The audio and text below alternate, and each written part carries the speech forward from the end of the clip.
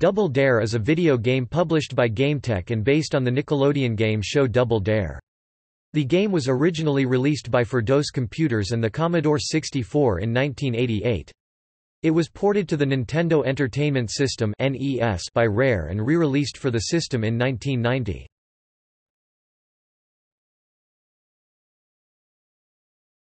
Topic: Gameplay Double Dare can be played by one or two players, single players compete against the computer.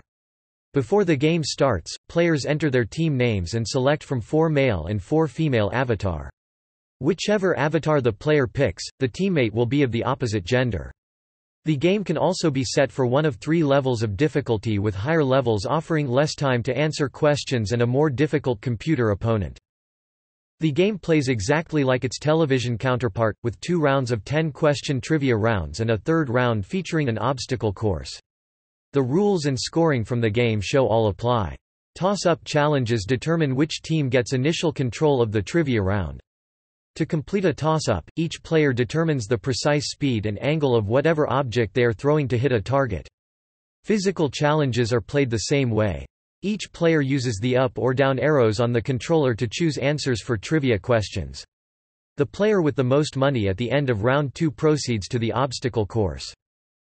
In order to move through an obstacle, the player needs to repeatedly alternate between pressing either the left and right or up and down arrows on the controller's D-pad. In order to grab the flag, the player needs to position the on-screen contestant in just the right spot and then press the A button to jump and retrieve.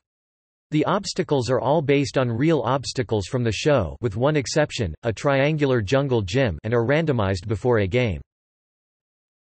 Virtual prizes for beating the obstacle course include a BMX bicycle, television set, an NES console, and several other gifts, ending with an exotic vacation received for completing the last obstacle.